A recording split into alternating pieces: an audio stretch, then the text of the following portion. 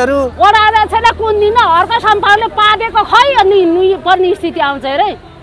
अब हर्क सम्पाउले पादेको कट्टु खै भन्नेसम्म आउँछ। अब त्यसले केही जान्ने रहेछ त्यो अध्यक्षले बाध्य भएर यो वैशाखको झरीमा यो खाली रोडमा बस्नु परेको बाध्यतालाई देखेर मैले मेरो मन रोक्न सकिनँ थाम्न सकिनँ र म विराटनगरदेखि उहाँको यो आन्दोलनमा ऐक्यबद्धता जनाउनको लागि सम्पाउलाई जसले ख्यास सुसु सर्छ नि।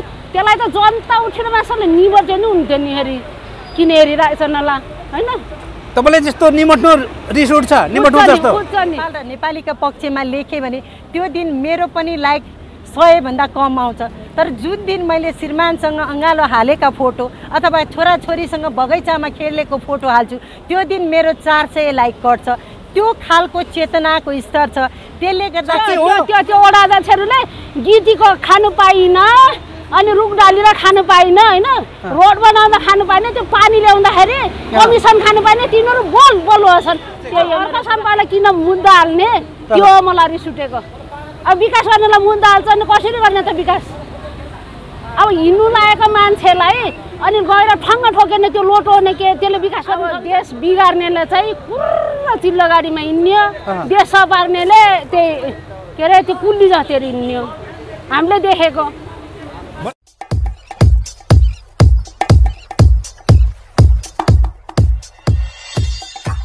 हजुर नमस्कार। नमस्कार हजुरको नाम? नसमाया पुन। लक्ष्मी माया पुन? नसमाया नसमाया लसमाया पुन। ए कहाँबाट आउनुभएको? म म्याग्दी। म्याग्दीबाट। आज यो महापुर पुनलाई चाहिँ सपोर्ट गर्न आउनुभएको हजुर। हो। भयो कसरी के कारणले चाहिँ आउनुभयो त सपोर्टको लागि महावीर पुनमा? बनाउनु लागेको होइन? आविष्कार। अब भावी सन्ततिलाई केही होला भनेर आएको। ए भनेपछि तपाईँ चाहिँ महावीर पुनको गाउँले? गाउँले। तपाईँहरूको एउटै गाउँ हो? उनीहरूको नागी पऱ्यो हाम्रो काखोलरा पऱ्यो। ए वारिपारी। ए भने चाहिँ राम्रो चिन्जान छ तपाईँहरू त्यहाँ? जान्छ उनीले नचिने नै हामीले चिन्छु। खास कस्तो मान्छे हो महावीर पुन तपाईँको नजरमा? तपाईँ त गाउँले पनि हुनुहुन्छ। सुनै हो भनेपछि त कुरै सिद्धियो नि। हिरै हो भनेपछि कुरै सिद्धियो नि। कुरै सिद्धियो है? के तल त माथिसम्म बयान गर्नु पर्यो र होइन? हजुर। अब हिरै हो। जस्तै अहिले सुनै अब अहिले अब यस्तो बेलामा महावीर पुन जस्ता मान्छेहरू आन्दोलनमा आउनुलाई कसरी हेर्नु भएको छ? आउनेलाई राम्रै हेर्नु पर्यो नि त। तर यस्ता बौद्धिक वर्गहरू बौद्धिक मान्छेहरू केही गर्छु भन्नेहरू आज आन्दोलनमा आउनु परेको छ। महावीर पुन आन्दोलनमा आज सडकमा हुनुहुन्छ। हर्क साङपा पनि म सडकमा आउँछु कुनै दिन आउन सक्छु भन्नुभएको छ अस्ति सिंहदरबार आउँदाखेरि। यदि मलाई धरानमा योजना परेन भने म सिंहदरबार आन्दोलन गर्न आउन सक्छु भन्नुभएको थियो। हर्क साम्पाङ महावीर पुनहरू बालेन शाहहरू आन्दोलित हुनुलाई कसरी हेर्नुभएको छ हजुरले? अब यो सरकार राम्रो ठिक भइदिएको भए होइन। हजुर। यो सरकारले उन्नति प्रगति चाहिएको भए यो देशमै केही गर्छु भन्नेहरूलाई अब उनीहरूलाई गर्नु दिन्न त्यही भएर बाध्य बाटो हालेछन् नि। हो कि होइन? हजुर। जस्तै हर्क साम्पाङलाई चाहिँ कसरी कतिको नजिकबाट चिन्नुहुन्छ? अर्क सम्पाङलाई जितेपछि चिने जित्नुभन्दा अलि अगाडि अभियानतिर यसो देखेको थिएँ। त्यति बेला चिनेको थिएँ। युट्युबतिर सिउट्युबतिर मान्छे त भेट्छ छैन। कस्तो लाग्छ हजुरलाई हर्क राम्रो लाग्छ नि। के मनपर्छ हजुरको हर्क साम्पाङको कामहरू? लाग्छ। अब अब नेताहरूले त लगाएर ड्या- ड्याङ्ग हिँड्छ नि त। अब हर्क सम्पादले त ढुङ्गा बोकेर हिँडेछ न पाइप बोकेर हिँडेछ होइन?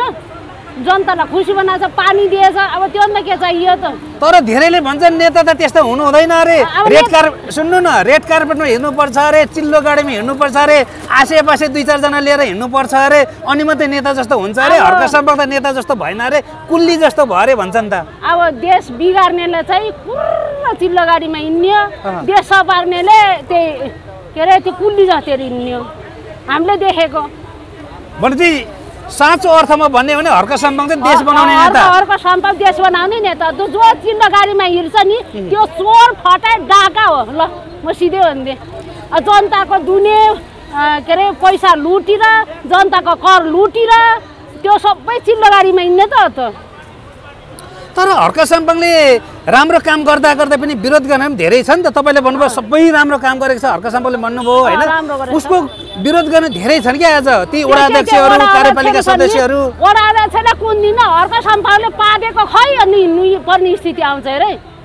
अब हर्क सम्पाउले पादेको कट्टु खै भन्नेसम्म आउँछ। अब त्यसले केही जान्ने रहेछ त्यो अध्यक्षले विकास भन्ने के भन्ने थाहा रहेछ होइन?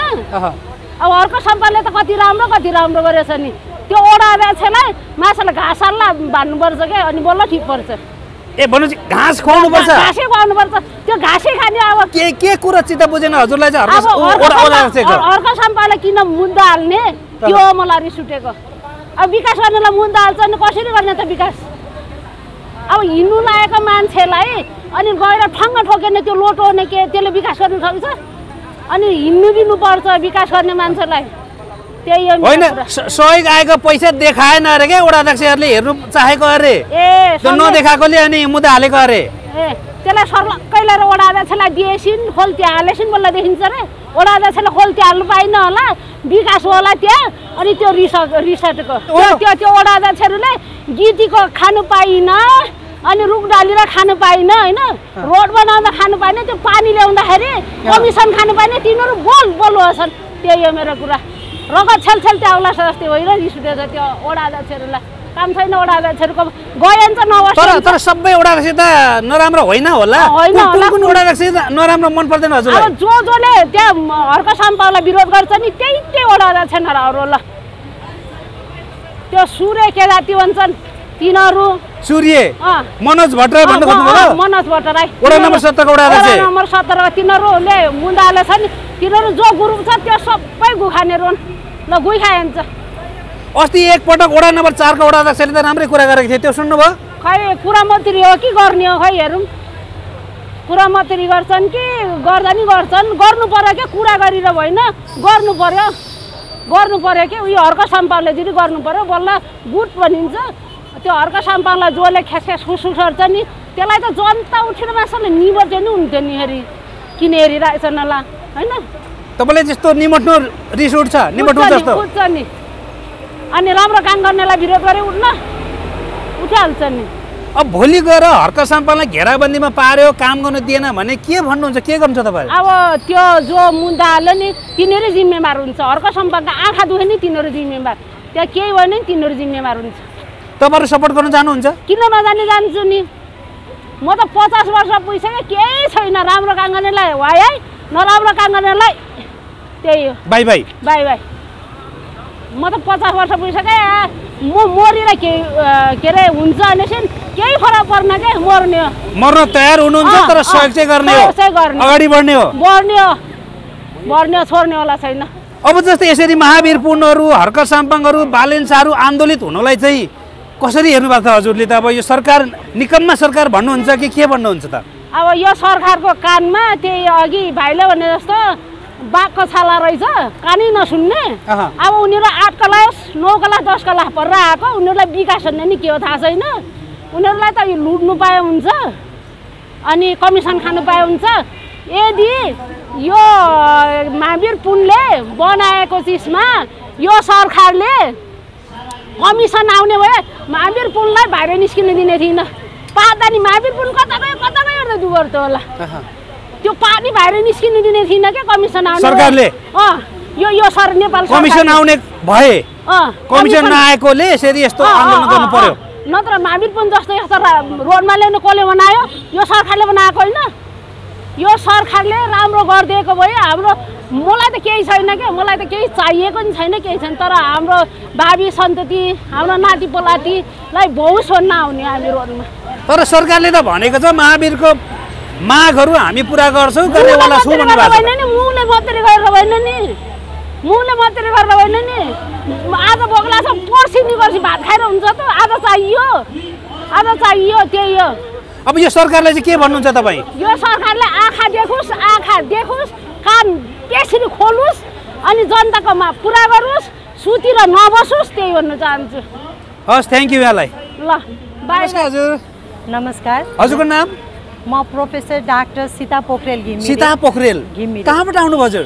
म विराटनगर मोरङ जिल्ला। विराटनगरबाट? हजुर। यो आन्दोलनको लागि भनेर आउनुभयो? हो हजुर महावीर पुन जस्तो महान व्यक्ति जसले राज्यले खोजी खोजिकन बोलाएर उहाँका आवश्यकता के कस्ता सहयोगहरू गर्नुपर्छ भनेर खोज्नुपर्ने बेलामा त्यस्तो साइन्टिस्टले बाध्य भएर यो वैशाखको झरीमा यो खाली रोडमा बस्नु परेको बाध्यतालाई देखेर मैले मेरो मन रोक्न सकिनँ थाम्न सकिनँ र म विराटनगरदेखि उहाँको यो आन्दोलनमा ऐक्यबद्धता जनाउनको लागि यहाँ आएकी छु। हजुर जस्तै उहाँको चारवटा बुदाहरू छन् होइन? चार बुधे मागहरू छन्। यी चार बुधे मागमा कुन कुन बुदा चाहिँ तपाईँलाई कस्तो कस्तो लाग्यो त? मलाई चाहिँ उहाँले मेन्सन गरेका चारैवटा बुदाप्रति शत प्रतिशत सहमत छु। हजुर। किनभने अहिले हामी सबैलाई थाहा छ नेपालमा निर्यातभन्दा बढी आयात हुन्छ। हामी सबै कुरामा विदेशीमा निर्भर गर्छौँ र हामीले कमाएका हाम्रा खाडी मुलुक गएर हाम्रा जुन जवानहरू छन् उनीहरूले खुन पसिना गरेर आफ्नो भरि जवानीमा अङ्गालोभरिको श्रीमतीसँग बस्नुपर्ने काखमा आफ्ना बच्चाहरू खेलाउनु पर्ने उमेरमा खाडीको गर्मीमा गएर कमाएर तिरेको जुन रिमिटेन्स छ त्यसले जुन नेपाललाई चाहिँ आत्मनिर्भर बनाउनु पर्ने अवस्थामा चाहिँ यो अहिलेको डाक्टर महावीर पुनको जुन माग छ। त्यसमा चारैवटा बुदामा म शत प्रतिशत सहमत हुनुहुन्छ। जस्तै अहिले यो अवस्थामा आएर डाक्टर महावीर पुन जस्ताहरू हर्क साम्पाङहरू बालेन शाहहरू रवि लामेछानेहरू होइन उहाँहरू आन्दोलित हुनलाई चाहिँ कसरी हेर्नु भएको छ त यहाँले यस्तो छ म पेसाले चिकित्सक। कस्तो हुन्छ भने मान्छेहरू अरू पेसाको व्यक्तिमा सहयोग माग्न जाँदा होस हवासमा गएका हुन्छन्। डाक्टर यस्तो पेसा हो जहाँ मानिस सहयोग बेहोसीको अवस्था माग्न आउँछ। उहाँहरू हामीसँग सहयोग माग्न आउँदा उहाँको मनमा कुनै किसिमको स्वार्थ हुँदैन। म के सोध्छु भने जुनसुकै पार्टीको व्यक्ति होस् यदि त्यसमा जे बनाउने र जनतालाई माया माया गर्ने हुटहुटी छ भने त्यसमा मेरो पूर्ण समर्थन छ। चाहे त्यसमा बालेन शाह हुन् चाहे हर्क साम्पाङ हुन् चाहे रवि लामेछाने हुन् चाहे गगनै थापा हुन् जुनसुकै पार्टीप्रति मेरो कुनै बायसनेस छैन। देश बनाउने चाहना भएको प्रत्येक युवाप्रति मेरो चाहिँ समर्थन छ। जसरी अहिले यहाँले हर्क साम्पाङको नाम लिनुभयो तर हर्क साम्पाङले त राम्रो काम गरेन अरे त। मलाई त्यस्तो लाग्दैन। त्यसो भन्दैछ त त्यहाँको कार्यपालिका सदस्यहरूले त विरोध गरिराखेका छन् हर्क साम्पाङको। म अहिले यहाँ बसिरहँदा कुनै राजनीतिक पार्टीको पक्ष पोषणको रूपमा नभएर एउटा नितान्त एउटा स्वतन्त्र। स्वतन्त्र चिकित्सक र एउटा आम नागरिकको हिसाबले के भन्न चाहन्छु भने मानिसको आवश्यकता फरक फरक हुन्छ। महलमा बस्ने व्यक्तिको आवश्यकता एउटा गाडी हुन्छ भने एउटा खाना पानी खाने जस्तो मेरो श्रीमान पनि त्यहाँ डाक्टर भएर बस्नुभयो त्यहाँ खाने पानीको अति नै जरुरी थियो। धरानमा? धरानमा। जुन ठाउँमा खाने पानीकै अवस्था चाहिँ खराब छ तपाईँ हामी यदि खाने पानी नै खान पाएन भने भोलि के का बारेमा सोच्न सक्छौँ? त्यही भएर सबैभन्दा पहिले घाँस बाँस कपास भनिन्छ नि। तसर्थ मलाई चाहिँ हर्क साम्पाङको जुन अभियान छ त्यसमा म शत प्रतिशत होइन तपाईँ सहमत हुनुहुन्छ तपाईँलाई उचित लाग्यो। तर त्यहाँ अध्यक्षहरूलाई नराम्रो लागेर सही नलागेर मुद्दा हालिसके। हजुर यस्तो छ।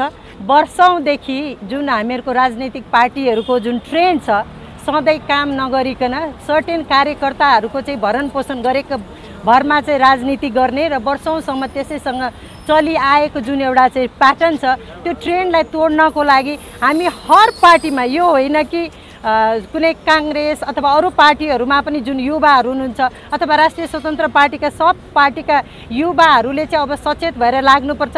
त्यसमा उदाहरणीय र एउटा लिडरसिपको जुन नेतृत्व हर्क साम्पाङज्यूले एउटा पानीको लागि गर्नुभएको छ। वडा अध्यक्षहरूले उहाँको जुन त्यसमा विरोध गर्नु चाहिँ मलाई ठिक जस्तो लाग्दैन। किन विरोध गरे होला के? मैले अघि नै हजुरलाई भने नि उहाँहरू जुन ट्रेन्डमा हुर्किँदै आउनु भएको। छ त्यो ट्रेन्ड अब ब्रेक गरेर अब नेपालमा जनताहरू सचेत भइसके। कमिसन खान नपाएर हो भन्नु खोज्नु भएको भनेको आशय त्यही रह्यो। अब त्यो डाइरेक्ट त म के भनौँ चिकित्सक मान्छे त्यसरी बोल्न जान्दिनँ। होइन तपाईँ चिकित्सक भन्दा एउटा आम नागरिक भएर बोलिरहनु भएको छ अहिले। सडकमा हुनुहुन्छ भुइँ मान्छे भएर बोलिरहनु भएको छ। हजुर हजुर। पक्कै पनि उहाँहरूले गर्ने कार्यशैलीमा उहाँले गरेका राम्रा जुन कामहरू छन् तिनीहरूले पक्कै पनि बाधा अवरोध ल्याइदिए होलान्। त्यसैले गर्दा उहाँहरू आन्दोलित हुनुहुन्छ होला। हजुर जस्तै आज महावीर पुन सडकमा आन्दोलित भइरहँदाखेरि सरकारले यो मागको सुनवाई गर्ला त? मलाई के लाग्छ भने महावीर पुन यस्ता युग पुरुष बारम्बार जन्मिँदैनन्। महावीर पुन जस्ता युग पुरुष जन्मिएको कुरा हामी सबै ने नेपालीको लागि गौरवको कुरा हो। मलाई के लाग्छ भने सरकारमा पनि जनचेतना चेतना भएका व्यक्तिहरू नै हुनुहुन्छ। उहाँहरूले मलाई आश लाग्छ केही दिनमा पक्कै पनि यो कुरालाई एड्रेस गर्नुहुनेछ र नेपालीको जनभावनालाई सम्मान गर्नुहुनेछ भन्ने मलाई लाग्छ। जसरी आज महावीर पुन सडकमा आन्दोलन गरिरहँदाखेरि आन्दोलित भइरहँदाखेरि अलिकति पर्याप्त मात्रामा जनउपस्थिति नभएको भन्ने पनि छ होइन? जस्तै सन्दुक रोहितहरूले विश्वमा एउटा गनिने करोडौँ करोडको पुरस्कारहरू जितेर फर्किँदाखेरि कसैले वास्ता गर्दैन यहाँनिर बौद्धिक वर्गले आन्दोलन गर्दै मान्छेहरू भने जति सोचे जति आइ नदिने भन्ने पनि गुनासो छ कि? यसबारेमा चाहिँ तपाईँ के भन्नुहुन्छ त?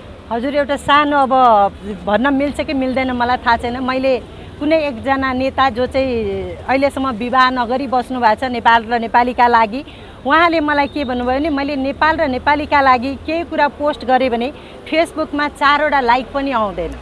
तर मैले के भन्यो भने उहाँ नेताज्यूलाई नेताज्यू चिन्ता नगर्नुहोस्। मैले पनि डाक्टर भएर यदि कुनै बिरामीको पक्षमा अथवा नेपाल र नेपालीको पक्षमा लेखेँ भने त्यो दिन मेरो पनि लाइक सयभन्दा कम आउँछ।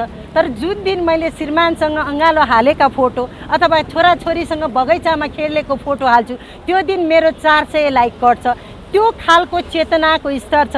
त्यसले गर्दाखेरि मैले के देख्छु भने महावीर पुनका योजनाहरूमा गोविन्द केसीका आन्दोलनहरूमा लाइक कम आउँछन्। त्यो भन्दैमा उहाँहरू डिस्करेज हुनुभएको छैन। उहाँहरूले आफ्ना जुन योजनाहरू छन् सशक्त रूपमा लगिरहनु भएको छ। यस्ता मान्छेहरू नै हामी म यति बेला के सम्झन चाहन्छु भने दार्शनिक सुकरात जो हुनुहुन्थ्यो उहाँको पछि पनि समाजमा कोही पनि थिएन।